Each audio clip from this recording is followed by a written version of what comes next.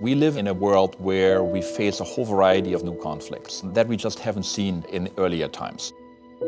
The idea that we're going to defeat groups like the Islamic State or indeed the Taliban with standard uh, military techniques is for the birds.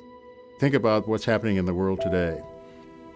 No other time since the end of World War II have we seen as many refugees and internally displaced persons than we do today. Of course, more important than just keeping people alive and keeping them fed is actually resolving the crises so that they can go home again.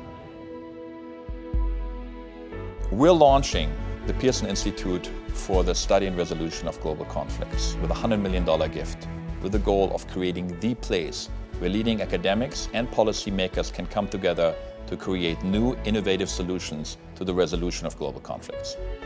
The reality is that what we're now dealing with is uh, a fantastically complex web of public policy, of military, and indeed of economic challenges. When I was told about the uh, establishment of the Pearson Institute, I was particularly interested because of the legacy of economic work that the University of Chicago has got. There has always been a commitment to thinking carefully according to rigorous analytical methodology, thinking carefully about social science problems. We're bringing together quantitative, rigorous, data-based approaches that have been successful in so many other policy areas to the area of global conflicts. The timing of this endeavor is so key. The prescriptions are underexplored, and the international community is looking for better ways to act together to address these problems. Quantitative data is essential for conducting good evidence based policy. The fact that the Institute wants to make it a priority can really have a big impact.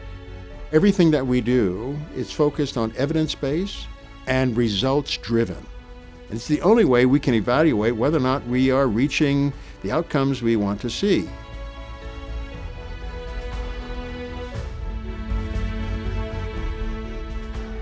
Now is the time for the Pearson Institute.